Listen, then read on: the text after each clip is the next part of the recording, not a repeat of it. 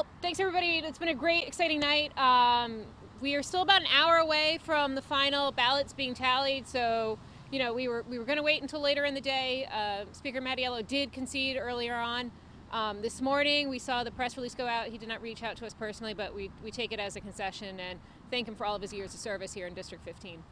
What's your explanation for why you scored such a decisive victory over one of the most powerful elected officials in Rhode Island? Yeah, the margin was pretty big. As it stands right now, we're up about 18. Um, people rejected the way that Speaker Mattiello was running the State House, ran his campaigns, um, and we were looking towards the future. And we literally outworked him. We've been working every night since June at the doors. We're talking about healthcare reforms. We're talking about safer and stronger school buildings, education, and those type of messages in a post-COVID era. What people wanted to hear, they wanted to hear what we were doing in the next two years, next five years, and we were talking about our plans and not about scandals, you know, and trying to explain away the scandals of the past like he had to. Barbara, when you were knocking on those doors, uh, you just alluded to it, but what were some of the, the key issues that people were?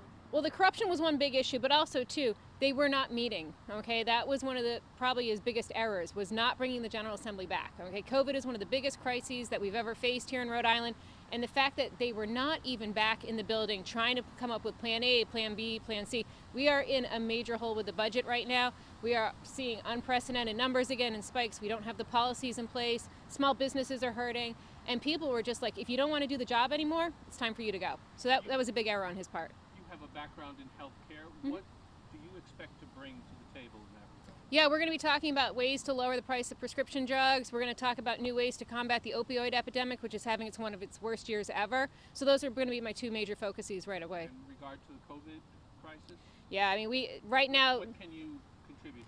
Well, let's talk about the priority number one on that right now is got to be how are we giving relief to our small businesses. Unfortunately, as the governor starts to talk about kind of scaling back a little bit, unfortunately, with the gatherings. I'm really worried here in Cranston about our restaurants, about some of our small businesses that might not make it through the winter. So that would be the first priority. Do you have any objections to the way she has handled the uh, insistence on wearing masks and the no. um, he other health um, considerations that she's put forward? No, I think we need to wear masks. And I think that there's enough evidence right now that I always wear one when we're out knocking on the doors. I'm not. I think it's a sign of respect.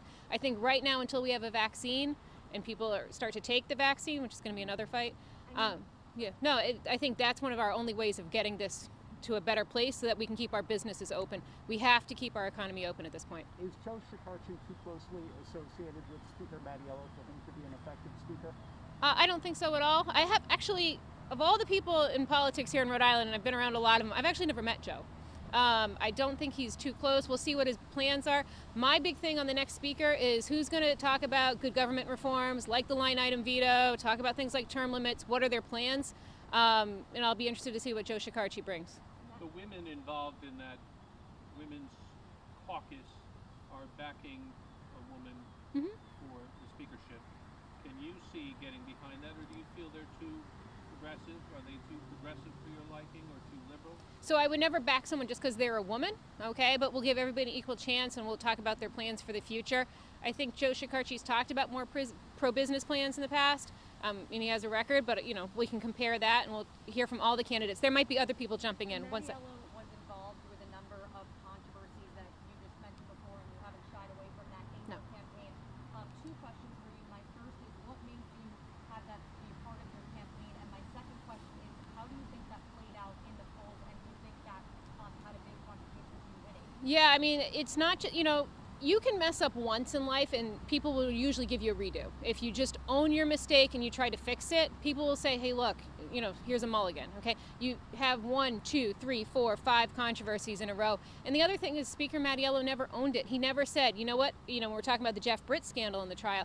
He never stopped and said, you know what, it was my campaign. There might have been a whole lot of mess ups underneath me, but I own it and he never fixed it. Like he never did that. And I think people would have respected if he got there. He never did. And for four years, we heard excuses. And just the second part of that also, um, do you think? How do you think that played in your favor in the polls? that was a big reason that we're standing here right now. Um, I think it's it is a definitely a contributing factor, um, and the fact the way he ran the state house is a lot how he ran his campaigns. Um, we talked about the spying on Frias's young family. We're talking about using the taxpayer-funded positions for his campaign. It all played a factor. Should have been our first question Sorry. to you. Do you plan to caucus with the Republicans? Yes, they're meeting tonight. do you support maintaining the fa- car tax phase-out championed by the speaker? Uh, of course, and the governor and the Senate president have also committed to that. Your, your victory was one of the bright spots for the Republican Party last night. Is there any broader significance? Uh, what do you think of how the party did elsewhere in the state? Is there any broader message from your victory?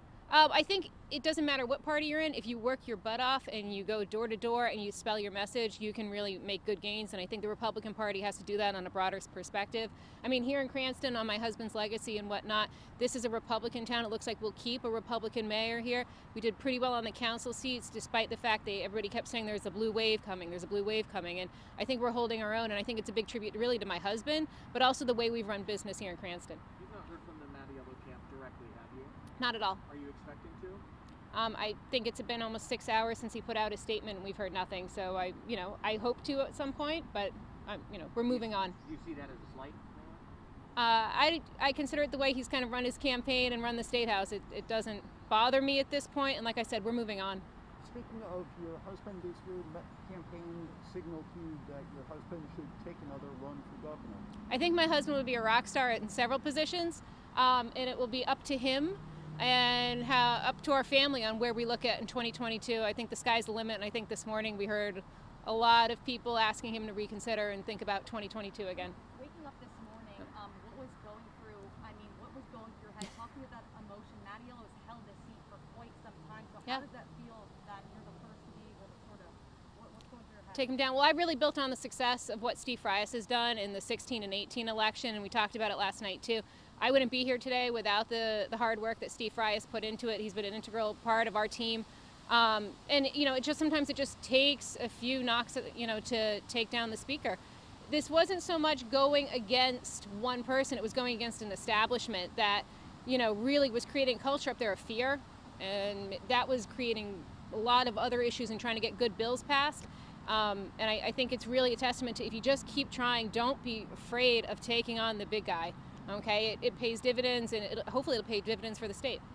Guys over here. You had some prominent progressive voices supporting you during the campaign. Do you see that as a, a one-off, or do you see opportunities to work with? with Well, it, this was a diverse coalition. I had socially conservative Republicans, I had moderate Democrats, there were some progressives that, you know, were, were talking, supported me on Twitter. Um, put it this way I always said to everybody here, I was like, unless you're in District 15, I, I want you guys to stay out. And the support that I got was really organic to District 15. Um, I ran this in a bipartisan manner when we're talking about healthcare and education reforms. This is not a, a partisan issue, or it shouldn't be, and so we were able to get a lot of support from people across party lines. That's what I'm going to bring to the State House. We'll work with whoever in order to get this done.